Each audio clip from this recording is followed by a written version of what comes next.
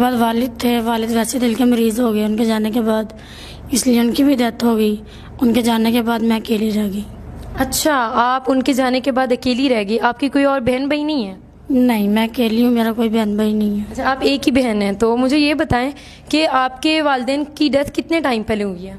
एक साल पहले। अच्छा एक साल पहले हुई है। आप कहाँ पे रहती हैं? किसके साथ रहती हैं? मैं फैसलाबाद में रहती हूँ और अकेली रहती हूँ मैं। अच्छा अकेली रहती हैं। अपना घर है या कहाँ पे रहती हैं? आप रेंट पे रहती हैं? नहीं घर तो मेरा अपना है। मैं अपने अच्छा, ही घर में रहती हूँ। अच्छा अपना घर है और आप अकेली रहती हैं और इसी वजह से शादी करना चाहती हैं आप? जी बिल्कुल। किस वजह से? इसलिए कि सर पे कोई भी नहीं है अकेली कैसे अपनी ज़िंदगी गुजारूँ? बस यही वजह और तो कोई भी नहीं। अच्छा तो आप इस तरह से शादी करना चाहती हैं कि आप अकेली हैं और अकेले मतलब आप कैसे रहें? और घर में आपके रिश्तेदार वगैरह आते रहते हैं या क्या सिस्टम है? आप अकेले कैसे रह लेती हैं? जी घर में आने जाने वाले तो हैं ही हैं लेकिन पास रहने वाला तो कोई नहीं है ना। ये बात भी है कोई आपके पास कितना आके रहे? बाकी मुझे ये बताएँ कि अगर आप शादी भी करना चाहती हैं तो किस तरह के शख्स से शादी करना चाहती हैं? क्योंकि हर तरह के लोग रिश्ता भेजते हैं तो आप मतलब आपकी क्या रिक्वायरमेंट्स हैं? मैं चाहती हूँ कि शख्स ऐसा हो जो तीन वक्त का घर में पूरा रखे खाना पीना करे उसके बाद नशा वगैरह कोई ना करता हो प्यार करने वाला हो फिर ज़िंदगी भी अच्छी गुजर जाती है। अच्छा तो वो बेशक बूढ़ा हो या जवान हो क्योंकि ये बात तो बूढ़े भी पूरे कर सकते हैं कि आपके तीन वक्त की रोटी वगैरह और नशा ना करते हूँ आपको अच्छे से रखें।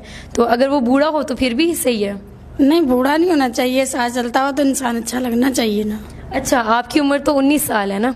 तो बाकी मुझे ये बताएँ कि आपकी फैमिली वालों ने नहीं आपका कहीं पे रिश्ता वगैरह किया शादी की? उन्होंने नहीं आपकी कोई हेल्प करने की कोशिश की? फैमिली में सबसे ज़्यादा अज़ीज़ रिश्ता तो माँ बाप का होता है। वो तो गुजर गए हैं वैसे भी। उसके अलावा किसने करना? है अच्छा मुझे ये बताएँ कि आप फैसलाबाद में कहाँ पे रहती हैं? शहर में या गाँव में? किधर है आपका घर?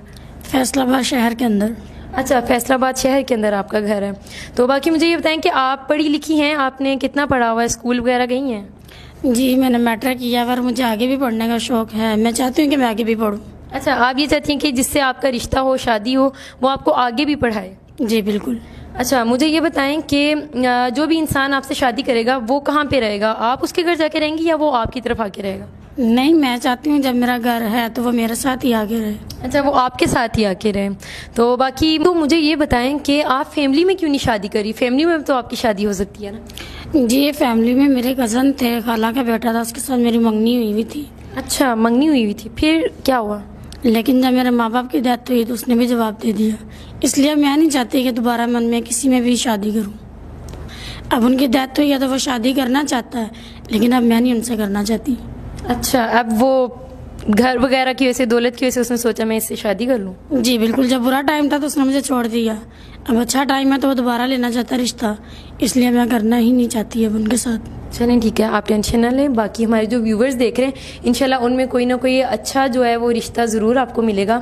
और इनकी जो रिक्वायरमेंट्स हैं, वो ये हैं कि कोई अच्छा इंसान होना चाहिए जो इनका ख्याल रखे, आगे इनको पढ़ाए, इनका जो खर्चा वगैरह साथ में करे। बाकी मुझे नाजरीन, अगर आपकी भी कोई ऐसी मोटिवेशनल स्टोरी है, या फिर कोई सैड स्टोरी है, या फिर आप अपनी कोई स्टोरी रिकॉर्ड करवाना चाहते हैं तो आप हमारे साथ जो डिस्क्रिप्शन में हमारा नंबर दिया गया है, या लिंक दिया गया है, इस पर रबता करें।